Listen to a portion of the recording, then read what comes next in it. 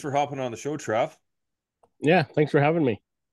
So, like we were uh, talking, um, texting back and forth there, uh, kind of my plan to do this year was something a little different. I wanted to do uh, something that I, I haven't seen anybody else do. It's basically going to be um, a four part mini series on calling elk.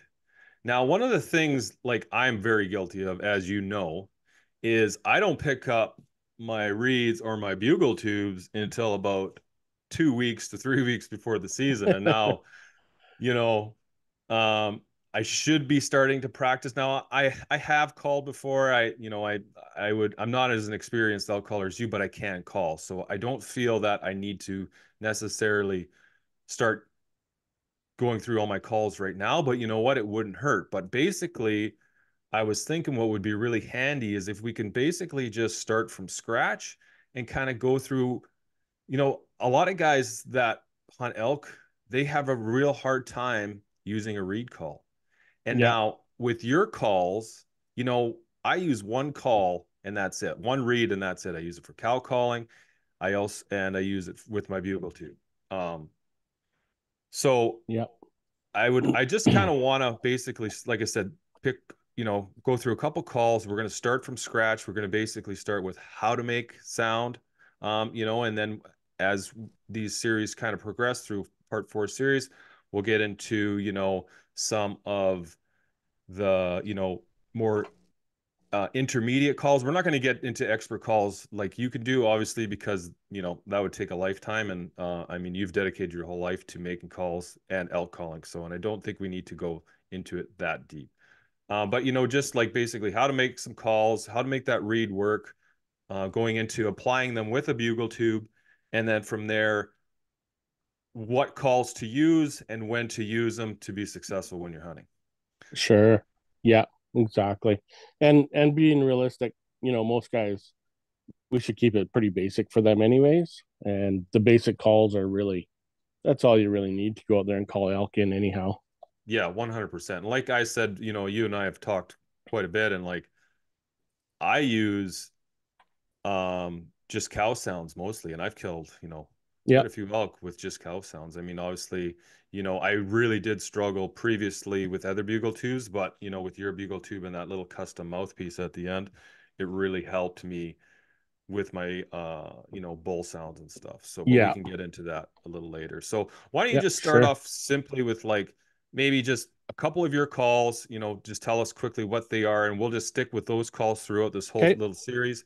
And then you can just basically walk us through is like for the guy the guy who just buys that reed off the shelf, how to make a call. Yeah, okay. And so, if you got anything to add, Derek, just hop right in, buddy. Yeah, for sure. So I'll just hold up a couple basic calls here. So I got the frolicker and I got the sassy. So what these are, they're basic, they're really light latex reeds and you can see if I hold it up, it's a really light latex. So for the basics and you know guys there and gals that are learning how to call, find yourself a reed that says cow or calf reed, and that's what mine do. If I bring it up close, mm-hmm. right here they say cow or calf. Same with this sassy. And on my new packaging, up in the top corner, I also put a little logo up there for oh, you know yeah. that's a little little cow and a little calf. Cool. My bugling reeds versus that, they'll have a bull elk. Oh yeah. Nice. So kind of gives you an idea, um, just by looking at the card, what you can kind of expect, and that's going to basically tell you thickness of the latex as well. So bull reed is going to be thicker latex. Cow and calf reed is going to be thinner. So the thinner latex is always the easiest to learn on.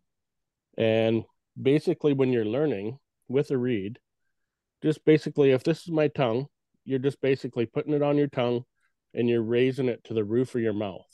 So the whole trick behind it, I'm keeping the tip of my tongue here. That's down in the in the bottom of my lower teeth, and I'm actually arching my tongue up like this, not lifting my tongue up like that, because the whole the whole science behind using a reed is you're trying to get air to go across this latex. So by doing that, all I do is put it on my tongue and literally use the air in your chest and your diaphragm. And what I tell people, hiss like a snake. So you're literally going, and that's why kids pick it up so good because they like doing that kind of stuff, anyways, right? so when you put it on your tongue, basically you don't even have to lift the reed up or nothing. Just kind of tilt it up just a little bit and start hissing. So literally go, and with the reed in on my tongue, raise it up, keep the tip of your tongue down and hiss.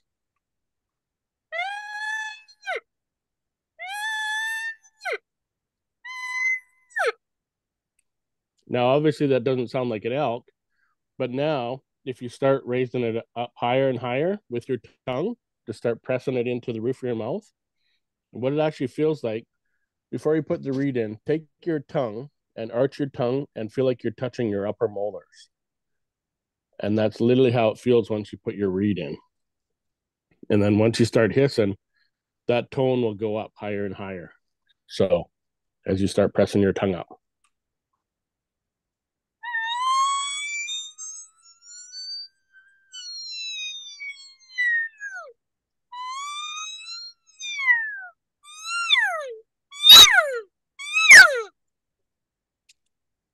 So that's kind of the whole basics behind it. Um, you are using your air down here in your diaphragm. You're not using the air like if you're gonna um, say whistle, like you're not using that air at all. The air coming out is actually warm. So basically, put it on your tongue, raise it up, and then just start hissing.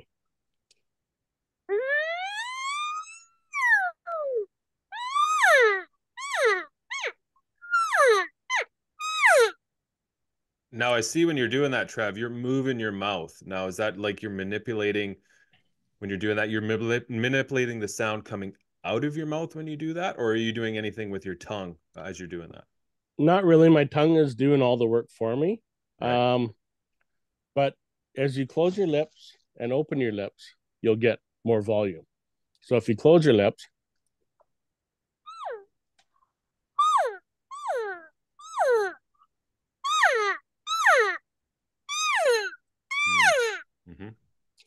So that's why after you, it's kind of normal for you to start doing that after a while. You'll just throw different sounds out. You're going to throw calf, cow, calf, cow. And basically, you're going to have different lips for how the volume you want. A lot of people you'll see they'll be like cupping their mouth and doing it behind them and stuff like that. That's kind of little tricks for in the woods. Um, you don't really have to do it when you're practicing mm-hmm. but it it kind of becomes natural after a while. Travis, yeah, how do yep. you uh what different call like is it call volume or is it a distinctive tone difference if you're trying to say uh call using like a cow call versus like a calf call? Uh basically it's the same. Um so the air coming out is pretty much the same. Um, you can add more air to get more volume. Uh, but to do a calf call, instead of like to do a cow call, you're going, ew, ew. To do a calf call, you're just going, ee, ee, ee. So if I put it in my mouth and show you a cow call, calf,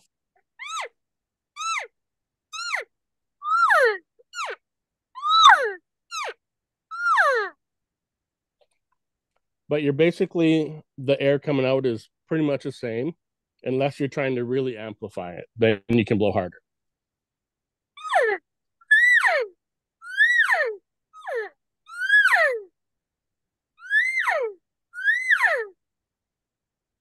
So you can see it's just adding a little more air force to it.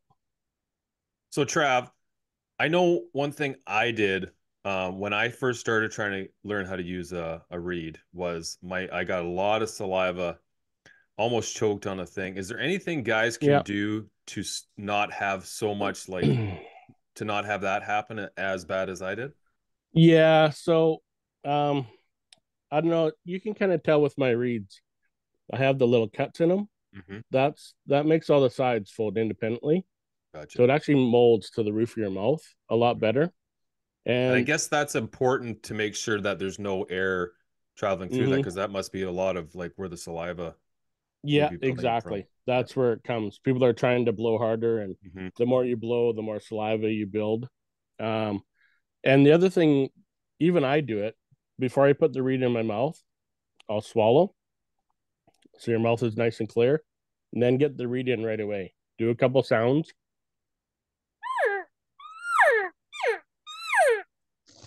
And then pull it out and always swallow down again. Even while you're calling, you're going to build up saliva and Mhm. it's going to be on the reed and whatever. If it gets really bad, just wipe it on your clothes and, and start again, kind of thing. It's it's totally natural for that to happen. And basically, I can all I can say is do a couple calls, pull it out, and then basically, you know, swallow your saliva down or spit or whatever you're going to do, and then uh, go back to it. Right, for sure. Awesome. Okay, now that we know, um, now that we got that, you know, how to how to make the sound come out of the reed, what's next? Like, let's let's talk a little bit about bugle tubes, uh, and then maybe we'll talk about using the reed with a bugle tube. Sure. Yeah. So the bugle tube, basically, this is a bugle tube.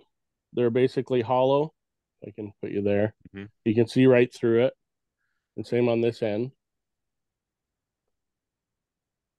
So the nice thing about bugle tubes, there's so many different on the market. You just go to any store and there's, you know, 10 or 20 different ones to pick from. Um, I like something kind of on the little smaller. This is called my mini rump shaker. It's the little rip, basically, is what it is. So it's a lot smaller than my or- original one was the rump shaker. It was quite a bit longer and bigger. Um, so I've I switched. think I that's, made that's this one here. I believe that's this one, right? It's a little bit bigger, the rump shaker. yeah, the rump shaker is bigger. Yeah, Oh, okay. Uh, around here is the same size, but I took a couple inches out of it off the end here. Now, I does that make a difference? Let's talk about that real quickly. Does size of the Sure. tube make a difference? It actually does. If you're trying to portray lots of volume out there, the bigger the tube, the better. Um, try not to go anything smaller than this. Like I know we all started back in the day, we all had like vacuum hoses that are like small around. Um, if you use small stuff, you get small sounds. So Right. you use something with a big chamber, you get a lot bigger sounds out of it. Now, is Um, one is one harder to use than the other? Like, as a big tube for more, you know, advanced callers like yourself, world class callers? Not really. They're the same exact thing. Basically, what you want to think of the tube is is basically your amplifier. So you and your reed are doing all the sounds, but the sound that's coming in here is basically the tube is making back pressure. So as you're going up higher on your reed, trying to go to a higher pitch, Mhm. this this little round part here is basically it's silicone. So your air is coming through it, it's hitting this end, but then it's starting to bounce back. And that helps pressurize your reed a little bit and it puts a little bit more pressure on the latex. So it helps you go to that next note a little bit. And it's called back pressure, is what it's called. So as your sound is traveling down, your air's traveling down through here, it's hitting the end, bouncing back. And then once you hit that higher note, it kind of holds there automatically for you. You can actually release your pressure off your reed just a little bit and it'll stay in that note for you. So Gotcha. Does your mouthpiece play a role in that for diameter? Do you have different sizes, or or uh, do you notice any any change in back pressure when you're doing different calls with your mouthpiece size? Uh, not really. So I keep mine. It's a pretty big mouthpiece. The reason I do that, you can see on here, it's flared as well. So the reason I do that, um, certain bugles you're gonna want to be spudding your lips like a lip ball. Yeah. So having a bigger opening lets you have your lips more inside of it and to the outside edges rather than going over top. Um, but when you're doing a lip ball, you're sputtering your lips, so you don't really want your lips to touch inside here.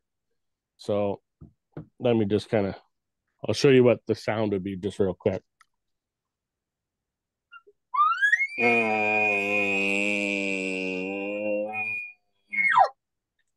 So that's kind of what the sound would be. So you're literally just spudding your lips really tight. They're together and you're just is kind of what you're doing. But the minute you take your tube and you do that with your lips and you touch to here the vibration's going to stop and then your mm-hmm. sound is all going to stop. So that's that's getting pretty far into the calling of it. Yeah um, for sure. Um, but that just is there any I, tube that you would suggest a beginner start with? Um, not really. I would just say if you have a tube at home, or your dad has a tube, or your brother, or someone in your family has one, just grab it and start playing with it. One um, thing I wanted to add was that this little, I always struggled with the traditional tube style. Yeah. Now this little cup piece. Now my screen is is uh here. I'm gonna switch the screen around here so the people listening can see it. So this little piece that you add to the end of your bugle tubes, yeah, made all the difference in the world in my ability and sound with this tube. I don't mm-hmm. sound nearly as good. Well, I would like to think I don't sound nearly as good with the other one. I mean, I'm not saying I sound good with, you know, either way, but I'm saying yeah. with this little with this little piece that you put on end, this little rubber piece, it it yeah. sure definitely helped me uh, with my bugle tube. And, you know, like I said, I am, you know, far from experienced when it comes to elk calling. So, yeah. Uh, well, well, part of that, if you take that end cap off, that hole's a lot smaller because now you're just dealing with the plastic. Um, this I have mine glued on pretty good, so I don't pull it off. Um, but the hole is a lot smaller rather than calling on the on the end of here, and that's kind of why I flared it. You know, I I kind of did it for like creature comfort as well. Uh, but it does make a difference when you're when you're calling. Gotcha for sure. Okay.